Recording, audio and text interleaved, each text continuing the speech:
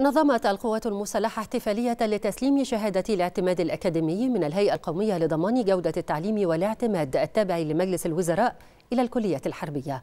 وألقى مدير الأكاديمية العسكرية المصرية اللواء أشرف سالم زاهر كلمة أشار خلالها إلى الدعم الذي توليه القيادة العامة للقوات المسلحة للمنظومة التعليمية بالكليات العسكرية لإعداد أجيال تتسلح بأحدث ما وصل إليه العلم بكافة المجالات. مما أسهم في حصول الكلية الحربية على العديد من الشهادات في مجالات الجودة الشاملة. وقد تم منح شهادة اعتماد الهيئة القومية لضمان جودة التعليم والاعتماد للكليات الحربية وإهداء درع الكلية لممثل الهيئة القومية لضمان جودة التعليم والاعتماد سناء راضي